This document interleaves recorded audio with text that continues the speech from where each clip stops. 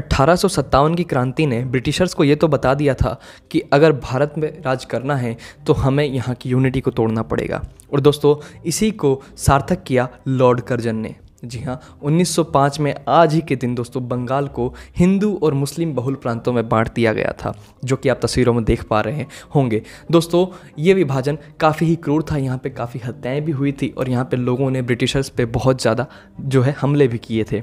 हालाँकि दोस्तों, इसमें जो भारत के क्रांतिकारी नेता थे, जिसमें तिलक और भी कई लोग आते हैं, उन्होंने स्वदेशी मूवमेंट इसके अगेंस्ट में छेड़ा। और साथ ही दोस्तों, जो हिंदू और मुस्लिम यूनिटी थी, उसको बनाए रखने के लिए एक दूसरे को राखी बांधी, मिलने का वादा किया। काफ़ी सारी चीज़ें दोस्तों, आप इन तस्वीरों में देख पा रहे होंगे।